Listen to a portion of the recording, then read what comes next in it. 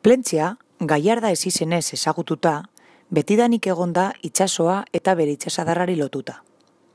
Iribildua Diego Lope de Aro jaunak eraiki zuen mila berreun eta laurogeita emeretzian, plazentia de butron izenarekin, komertzioa eta erroten gestioa bultzatzeko asmoz. Hauek itsasadarrean zeuden, jaun feudalen kontrolpetikat. Haren fundazio kartan baleak eizatzeko eskubidea islatu egiten da. Armarrian, ontzi bat eta bi espata ageri dira, plazentiak bizkaiko jaurerriari emandako laguntzagaitik. Ontziolak oso garrantzitsuak izan ziren. Hauek, amairugarren mendean hasi ziren funtzionatzen. Garerik gorena, amazortzigarren mendean izan zen. Jaurerriko garrantzitsuenak baitziren, bilboko ontziolen aurretik. Bertan, eraikitako azken itsasontzia Magdalena izan zen, mila bederatxireun eta emeretzian. Amazigarren mendetik aurrera, udal ordenantza propioak zituen, hiribilduaren bizikidetza arautzen zutenak. Ordenantza hauek gai administratibo eta ekonomikoak arautzen zuten, ere, eta San Pedro Kofradiako ordenantzekin batera, itxas bizitza, arrantza eta komertzioa regulatzen zuten.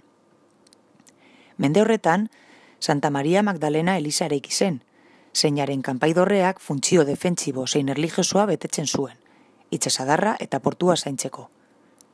Garai hartan, dorretxe bat eraiki zen garirako biltegi moduan. Ondoren, dorretxe honek, udaletxe, epaitegi, kartxela eta liburutegi moduan funtzionatu zuen. Gaur egun, plazentzia de butron museoa da eta hiribilduaren oroitzepenak gordetzen ditu.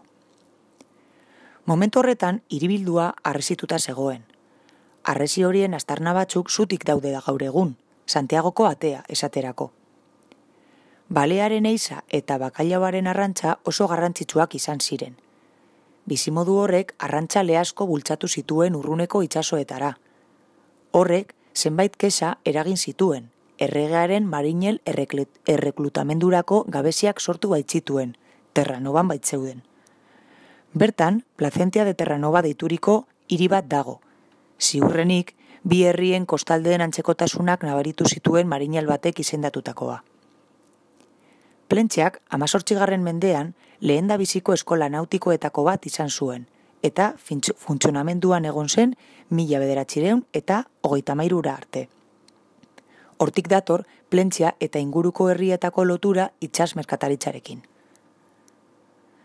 Emeretxegarren mendean, plentxeak navigazioari loturiko posizio ekonomikoa galdu egiten du. Areak, itxasontzi handiak portura ailegatzea ekiditzen baitu. Gainera, eguralditzarrarekin abilesia handia behar zen, han ez ondoratzeko.